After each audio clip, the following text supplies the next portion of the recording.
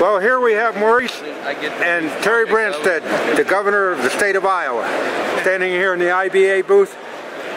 The only known ally to hunters that I've known in my 64 years of life, and I thank you, Governor, for being here at the IBA booth. Well, Marcus is the bow hunter. He's got, Marcus has uh, deer stands in, what you got, about nine deer stands in three counties?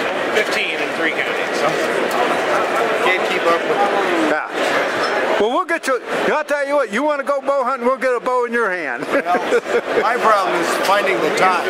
oh, okay. Well, we all have that problem. Yeah. but I want to appreciate you for stopping by, Governor. You bet. We're proud of all the bow hunters in Iowa. All right. Thank you. Thank you.